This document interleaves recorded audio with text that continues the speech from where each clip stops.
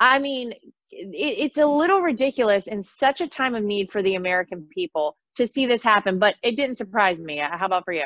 People don't realize this. What exactly the Democrats did is they buried um, a lot of things that they've been trying to get done for years, um, basically in a document that nobody was going to read, hundreds and hundreds of pages long. And it's funny because I was talking about this this morning, so I'm just going to read a few because I actually have it on my desk right now.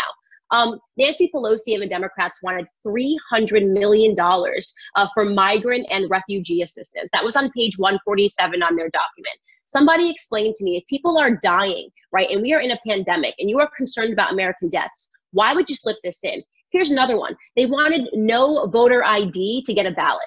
What does that have to do with coronavirus?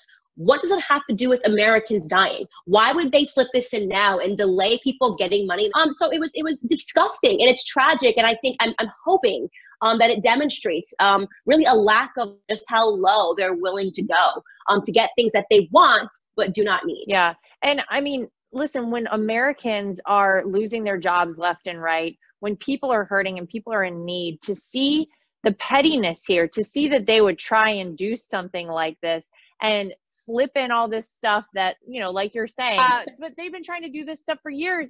I think that even the people who have voted democrat for their entire life have to see this and say what the heck are these people doing? They're supposed to be working for me. They're working for migrants out there? Seriously? This is crazy